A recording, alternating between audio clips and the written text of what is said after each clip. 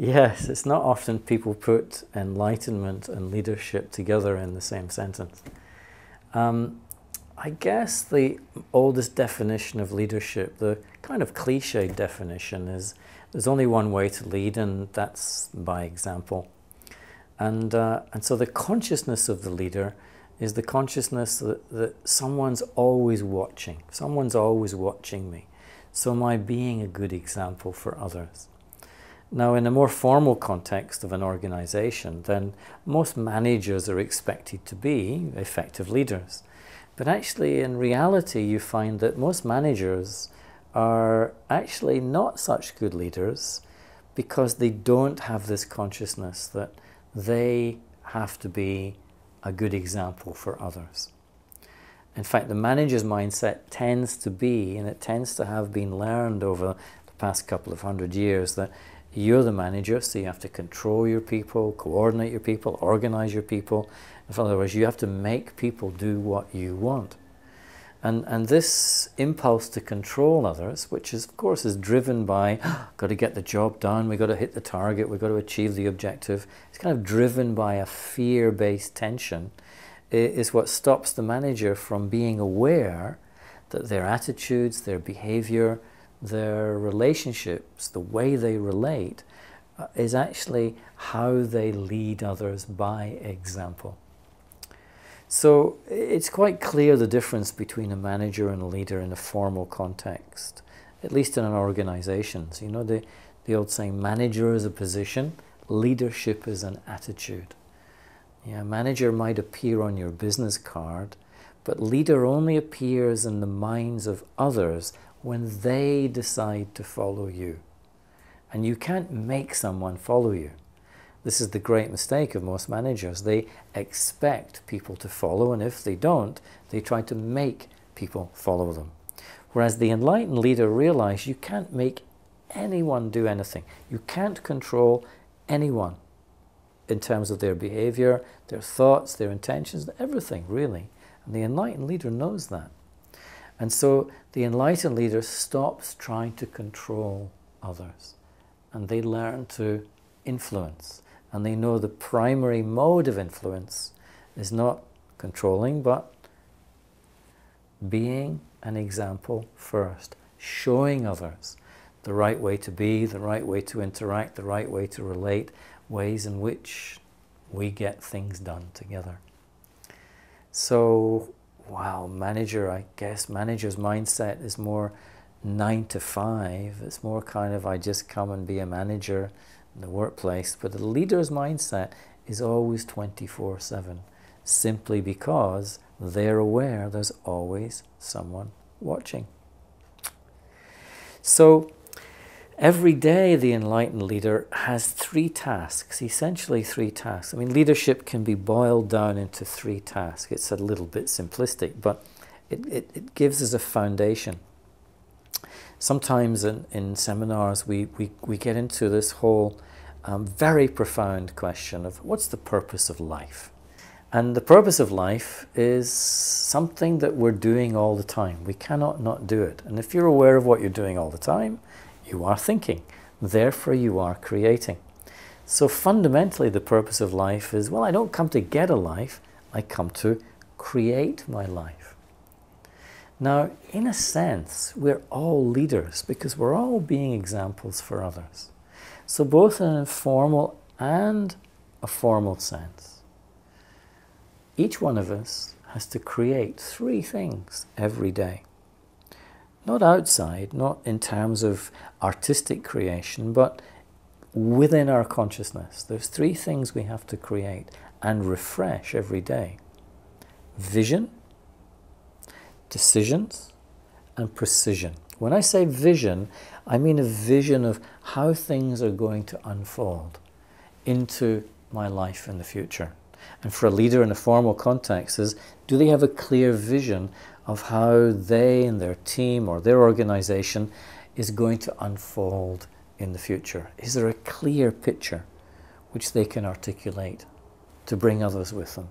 And in the context of our personal lives, what is it that I see unfolding in my life? Do I have a sense of that?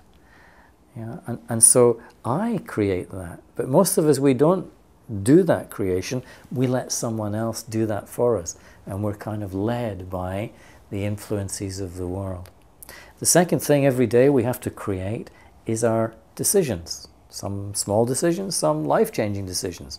But we're creating decisions all the time. But what's the quality of those decisions? What's the accuracy of those decisions? And so the second aspect is our decision making. The third creative aspect is precision. When I say precision, I mean how am I communicating with those around me? In a formal context, it's my team, my colleagues. How precise, how accurate is the way I'm relating, communicating? But that generally is the same for all of us. How precise, how accurate am I connecting with others? Am I uh, sharing with others? Am I involving others? Am I bringing others with me? So, this is the precision of my relating to others. So, these three things vision, decision, precision in essence, are what the enlightened leader has to create and refresh every day. Um, but then that gives rise to the question what do I need in order to be creative? And essentially, what we're using in our creative process is something called intelligence. And so the quality of my creation is going to be dependent on the quality of my intelligence. And that's why you've seen in the past five, ten years an explosion of books, both about leadership and about intelligence. And essentially, there's four levels of intelligence that we bring to our creation of our vision, decisions, and our precision. Rational intelligence is the obvious one, where we think things through, we think our way to a decision, but it takes time, a bit noisy, and it's quite tiring in the brain. And that's why a few years ago someone came along and said, why don't we use the intelligence uh, that women have and men don't to make our decisions, otherwise known as intuition. And you could go on a course and you could learn to make decisions using not your thoughts, but your feelings. I feel this is the right way to do. I feel this is the right thing to do. I feel this is what has to happen. And so most of us don't know the difference between our thoughts and our feelings. But if you ask most successful entrepreneurs, business people, inventors, even scientists, they'll tell you their best decisions were made intuitively, usually in the bath. Why? because that's where we're very relaxed. And that's where we relax our minds a little bit and all the thinking, the noisy monkey mind. And that's when we can hear the subtle voice of our feelings, our intuition, our innate wisdom begins to speak to us. But then, of course, the other level of intelligence that has become very popular in the past 10 years is this thing called emotional intelligence. And, and of course, emotional intelligence is quite different from rational intelligence in that someone with rational intelligence is usually the person who's very academic, very brainy. You give them chalk and a blackboard, they'll talk all day long. The most complex formula. But if you take them and stand them six inches from another human being, they cannot do it because their emotions are triggered and they're out of control. They say the wrong thing and they're not sensitive to the emotions of the other person. So they have very high IQ, rational intelligence, but very low EQ, emotional intelligence. And we see today that most major organizations, where before they wanted the clever people, to come in and become the leaders and the managers. They don't want the brainy people now. They want the people who have emotional intelligence, the people who get on with people, the people who can build relationships, who can connect and influence those around them. Why? Because technology says if you don't like where you work, just take your computer, sit it on your kitchen table, and you can have a global business in three hours. And we could never do that before in history. And more and more people are doing that. They've been leaving their organization to start their own entrepreneurial activity. Why? Because when someone leaves the organization, they don't usually leave the company, they leave their manager. don't like him, don't get on with him, had enough. I'm going to do my thing. So now most organizations, they want people who know how to build relationships with people to keep the talent in the organization.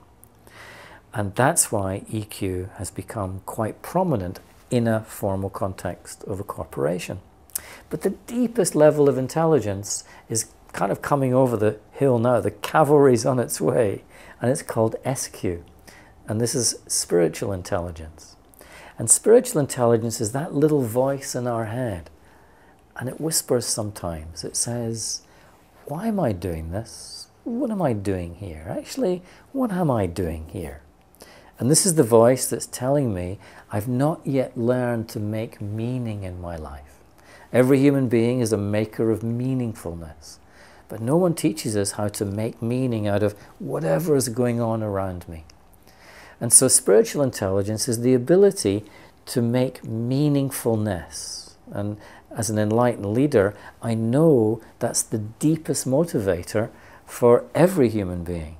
Because when we're doing something meaningful, we're very enthusiastic. The energy pours from inside out into what we're doing. But when it's not meaningful, we don't really care. We don't really give it our best shot. So the enlightened leader's job is to help people find meaning in what they do. Yeah, and someone with spiritual intelligence, essentially it's not about beliefs and dogmas and religion. It's just the ability to be stable with whatever is going on around you. In other words, someone with spiritual intelligence will never be surprised. They'll never be shocked by anything. which is quite challenging for most of us who are easily surprised, easily shocked. Oh my God, what's happening? What's going on? And we get into an uh, emotionally reactive mode, which means we've lost our spiritual intelligence. So it's these levels of intelligence that we draw on and bring to bear in the creation each day, the refreshment each day of the vision where are we going? What are we trying to do? What are we trying to achieve? Of the decisions that we make, what do we need to do to get there? Who needs to do what? What resources do we need? And of the precision of our communication with each other. It's those levels of intelligence that we need to reactivate in our consciousness to be more enlightened as a leader.